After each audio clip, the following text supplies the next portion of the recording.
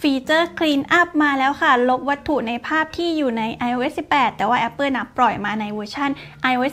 18.1 Developer Beta 3 นุกนี้ได้ไปเห็นการใช้งานมาแล้ว แล้วก็น่าสนใจมาก ๆ เลย เดี๋ยวคลิปนี้พามาดูพรีวิวแบบน้ำจิ้มค่ะ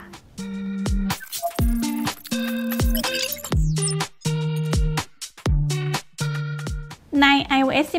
18.1 Developer Beta 3 นะคะ เวอร์ชันนี้ Apple ปล่อยฟีเจอร์ AI ที่เป็น Apple Intelligence มาให้ใช้งานถึง 2 ตัวด้วยกัน จากสื่อต่างประเทศนะ ที่ตรงนี้ได้ไปดูมาอันแรกเลยก็คือฟีเจอร์ที่ชื่อว่า Summarize Notification Preview หรือว่าฟีเจอร์การสรุปการแจ้งเตือน เวลาที่เราปัดเมนูด้านซ้ายบนลงมานะคะก็จะเป็นศูนย์การแจ้งเตือน ทีนี้ฟีเจอร์นี้ก็จะทำงานนะ ถ้าเราเปิดใช้งาน ก็คือเขาจะสรุปการแจ้งเตือนจากแอปต่างๆ สมมุติว่าการแจ้งเตือนจากแอปเนี่ยมันเขียนมายาวมาก แต่เขาจะมาสรุปให้เราสั้นๆ แล้วก็จะคัดเฉพาะอันที่สำคัญเท่านั้นขึ้นมาไว้ให้ที่ด้านบน ผลักมาไว้ให้ที่ด้านบน เราก็จะเห็นอันนั้นก่อนนะคะอันนี้เป็นการทำงานคร่าวๆนะคะ จากตัวอย่างที่ได้เห็นค่ะแล้วก็เราสามารถตั้งค่าได้นะว่าจะให้ตัว AI ตัวนี้ฟีเจอร์นี้เขาสรุปการแจ้งเตือนให้เราจากแอปไหนได้บ้างค่ะ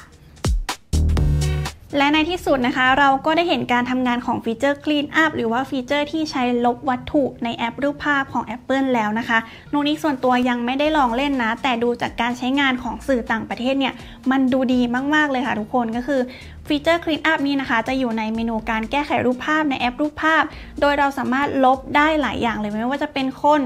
วัตถุนะคะ หรือว่าจะเบลอหน้าคนก็ได้ ทีนี้ลักษณะการใช้งานนะมันเหมือน เขาจะดีเทคให้เราก่อนนะคะ เวลาที่เรากดใช้งานฟีเจอร์นี้ครั้งแรก ก็จะดีเทคตัวคนให้แล้วเราก็สามารถจิ้มที่ตัวคนตรงนั้น แล้วเขาก็จะลบให้เราปุ๊บหายไปเลยนะคะ หรือว่าถ้าเรายังไม่พอใจ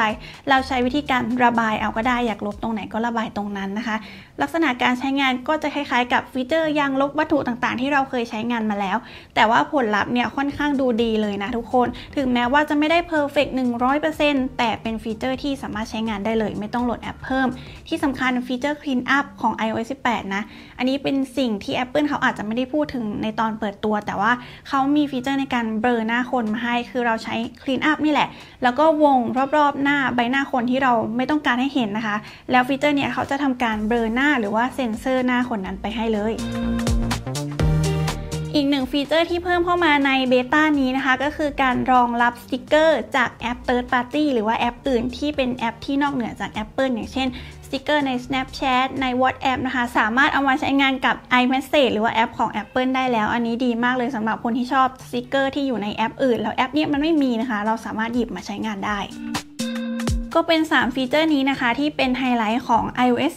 18.1 Developer Beta 3 นะคะ ทุกคน ใครแบบใช้ Developer Beta 3 แล้วบ้างนะคะ ฝาก comment ไว้ใต้คลิปนี้หน่อยว่าใช้งานฟีเจอร์ Clean Up แล้วเป็นไงกันบ้าง ชอบกันหรือเปล่านะคะ แต่สำหรับคนทั่วไปแบบเรานะคะ ใครอยากทดลองเล่นฟีเจอร์ใหม่ๆ ใน iOS 18 จริง ๆ สามารถทดลองเป็น Public Beta ได้นะคะ นุกนิกได้ทำคลิป Public Beta แรกให้ดูแล้วนะคะ ไปดูฟีเจอร์คร่าวๆ ก่อนได้ แล้วก็ที่สำคัญนะคะ ใกล้เข้ามาแล้วสำหรับงานเปิดตัว i iPhone 16 นะคะ ซึ่งการเปิดตัว iPhone 16 เนี่ย ก็จะอยู่ในช่วงวันที่ 10 กันยายนของปี